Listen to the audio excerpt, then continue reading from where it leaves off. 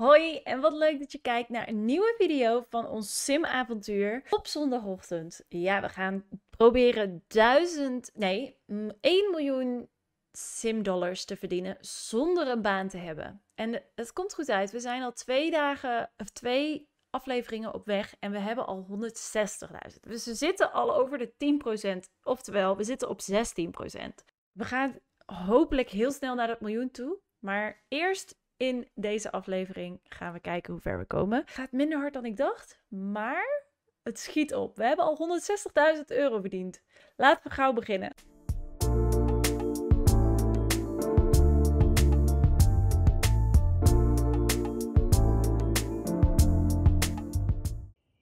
Oké, het is tijd om weer een bijeenkomst te starten. Ik hoop wel dat Christopher komt, want dat is toch wel mijn paradepaard, hè?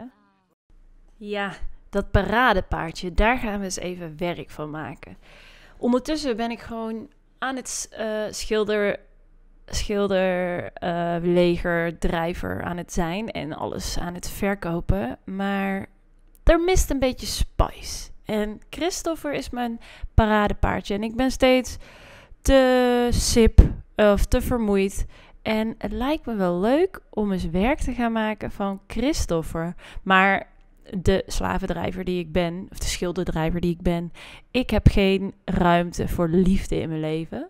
Maar er is tegenwoordig ook een functie in de Sims dat je oh ja partners kunt worden. Dus laten we eens eventjes uitzoeken of Christopher hier open voor staat. Want dat zou het leven een stuk gezelliger maken. Het is tijd om Christopher om mijn vinger te winden. Christopher gaan we versieren, jongens. We gaan Christopher versieren. Het is tijd, want ik heb de hele tijd geen plezier. Oké, ideeën uitwisselen. Hallo. Zeg je hallo. Um, hoe gaan we hem versieren? Hij is natuurlijk een beetje... Hij heeft al een vrouw. Genegenheid. Flirten. Um, compliment geven over een uiterlijk. Dat ziet er goed uit. Ik ben echt heel groot fan van je. Oprecht compliment geven. Uh, aantrekkelijkheid bekennen. Is dat te vroeg? Oeh. Uh, diepgaand gesprek. Oh, misschien kan ik naar zijn carrière vragen. Favoriete... Een kunstliefhebber. Nou, dat ben ik ook. Wat voor werk doet hij? Oh. Hij was boos, maar ik weet niet waarom. Omdat ik met hem flirte? Roddelen. Oh, of misschien door het diepgaande gesprek. Leren kennen.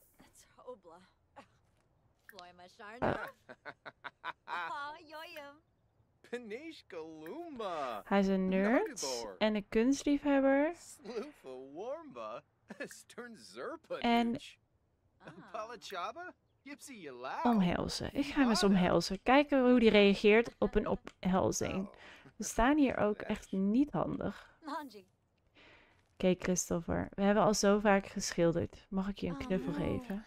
Oh, fijn.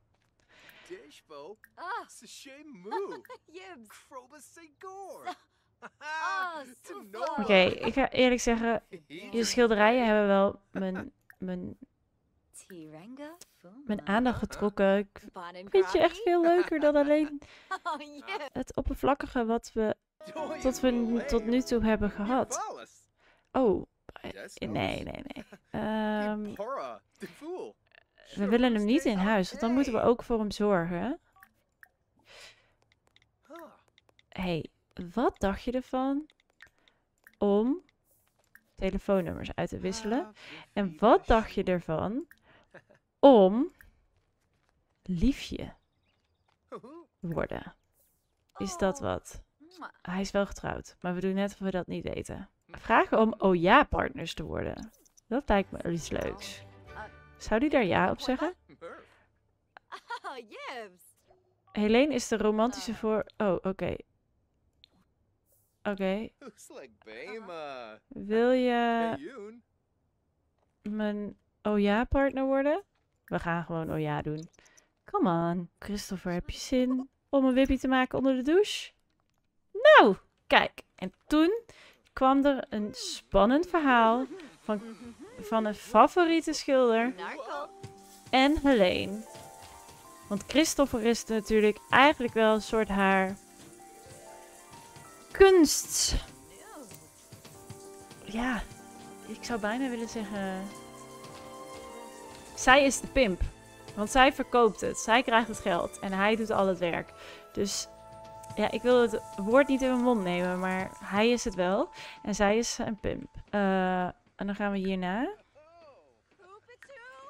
een bijeenkomst starten. Nou, plezier alom. Een zelfverzekerd schilderij gaat ze maken. Nou, ik ben benieuwd. Oh, dit is een leuke schilderij. Die had ik net in de, in de art gallery ook gezien. Zeer goed. Kijk, ze moeten stoppen met dat figuur schilderen. Maar goed, dat doen ze nou eenmaal. Maar zo saai, dat figuur schilderen, vind ik. Oh, hij is een charme verloren. Wat erg. Holly, lekker hoor. Gewoon een 2000 euro waardige een meesterwerk weet te creëren. Kijk. Dat verkoopt dan weer lekker, hè? Deze is echt mooi. Bijna mijn bed geplast. Oeh, dat zou het zijn. Nee, dat maakt helemaal niks uit. Oké, nou. We zitten op 400.000 euro. ga toch dat slapen eens even verbeteren. Dat bed is echt zo slecht. Het duurt zo lang voordat we dat bed dan helemaal af hebben. Dat, sorry. Het duurt zo lang voordat we full health hebben. Dus ik ga even een beter bed kopen. En dan wordt deze. Duur, maar ik denk dat het uiteindelijk wel fijner is. Dus ik kan nu even... Oh, wacht. Dat ga ik doen. Ik ga de bijeenkomst starten.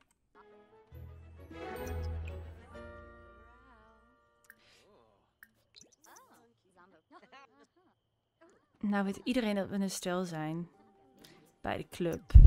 En toen ging ik gewoon lekker door met heel veel verkopen en heel veel bijeenkomsten bij uh, organiseren, zodat er veel geschilderd wordt. Kijk, het gaat aan de lopende band prachtige schilderijen, nog steeds die lelijke figuurschilder ook.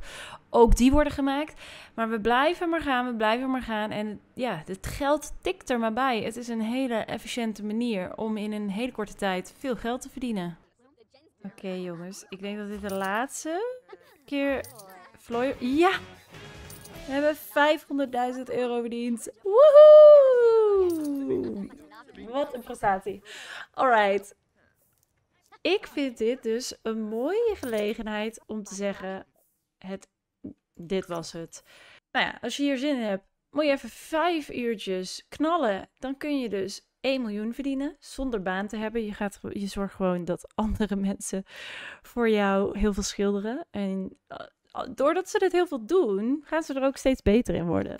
Dus dat is alleen maar winst. Uh, ik vond het heel erg leuk om dit een keer te doen. We hebben geen miljoen gehaald. Maar ja, ik dacht om daar nog meer video's hierover te maken, terwijl ik steeds hetzelfde doe, vond ik een beetje overbodig. Dus ik hou het hierbij tot een half miljoen. Uh, heel erg bedankt voor het kijken naar deze video. Op woensdag plaats ik een nieuwe poll op mijn uh, community tab op YouTube. En daar kun je stemmen wat de volgende challenge zal worden. En heb je misschien leuke suggesties voor een volgende challenge? Laat ze zeker even weten in de comments, want dan neem ik ze mee in de poll aankomende woensdag. Voor nu heel erg bedankt voor het kijken naar mijn video. Vergeet niet te abonneren, zodat je nooit meer een video mist. En dan zie ik je heel graag bij een volgende video. Doei!